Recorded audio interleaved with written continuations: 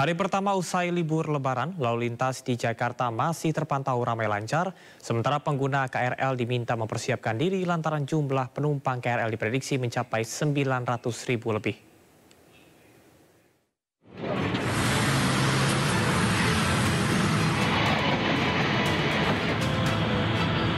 Pagi ini Jakarta mulai menggeliat. Geliat. Meski pelajar setelah SN masih libur dan arus balik libur lebaran masih berlanjut, karyawan swasta telah memasuki hari kerja. Jalan ibu kota juga mulai terpantau ramai lancar seperti yang terlihat di Jalan Mampang Perapatan, Jakarta Selatan. Sementara dari pantauan tim liputan, keramaian sudah terlihat di moda transportasi umum khususnya KRL. Sejak pagi hari, seluruh gerbong dari Bogor menuju ke arah Jakarta Kota telah dipadati pekerja. Sementara arah sebaliknya terpantau lengang.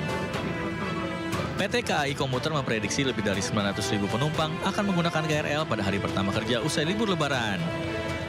Untuk mengantisipasi kepadatan ini, KAI Komuter mengoperasikan 1061 perjalanan komuter lain Jabodetabek mulai pukul 4 pagi hingga 24 WIB. Dari Jakarta, Dwi Sosilo, Bayu Maesa, Ainus melaporkan.